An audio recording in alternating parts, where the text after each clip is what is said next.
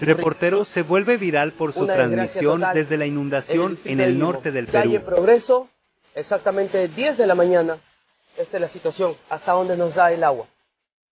Es totalmente lamentable. Las autoridades, ni provinciales, ni regionales, ni congresistas, se han aparecido hasta el día de hoy. Miren hasta dónde nos da el agua.